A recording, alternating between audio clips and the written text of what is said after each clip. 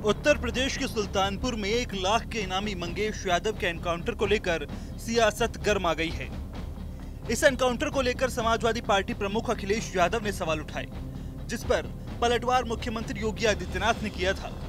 इस बीच सोमवार को बहुजन समाज पार्टी प्रमुख मायावती ने बीजेपी और सपा दोनों पर ही हमला बोला है और दोनों ही पार्टियों को चोर चोर मोसेरा भाई करार दिया है। मायावती ने सोशल मीडिया प्लेटफॉर्म एक्स पर ट्वीट करते हुए कहा यूपी के सुल्तानपुर ज़िले में एनकाउंटर की घटना के बाद से बीजेपी और सपा में कानून व्यवस्था को लेकर आरोप प्रत्यारोप लगाए जा रहे हैं। अपराध, अपराधी और जाति के नाम पर ज़बरदस्ती की राजनीति की जा रही है। जबकि इस मामले में ये दोनों चोर चोर मौसेरे भाई जैसे हैं। बीजेपी की तरह सपा सरकार में भी तो कई गुना ज़्यादा कानून व्यवस्था का बुरा हाल था। दलितों, अन्य पिछड़े वर्गों, गरीबों और व्यापारियों को सपा के गुंडे माफिया दिन दहाड़े लूटते और मारते पीटते थे। ये सब लोग भूले नहीं हैं। उन्होंने कहा, उत्तर प्रदेश में वास्तव में कानून द्वारा कानून का राज बसपा के शासन में ही रहा।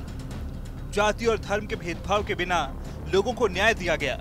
कोई फर्जी एनकाउंटर भी नहीं हुआ। मायावती ने लोगों को आगाह करते हुए कहा कि बीजेपी और सपा के कानूनी राज के नाटक से सभी सजग रहे।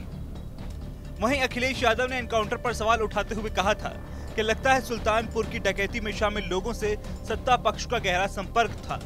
इसीलिए तो नकली एनकाउंटर से पहले मुख्य आरोपी से संपर्क साध कर सरेंडर करा दिया।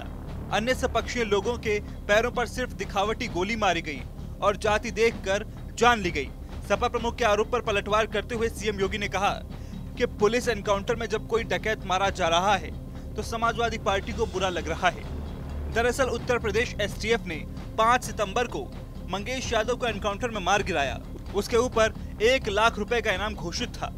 मंगेश यादव के ऊपर आरोप था कि उसने मेजरगंज इलाके में भरत जी सोनी ज्वेलर्स के यहाँ डकैती डाली, जिसमें उसके साथ चार और लोग शामिल थे।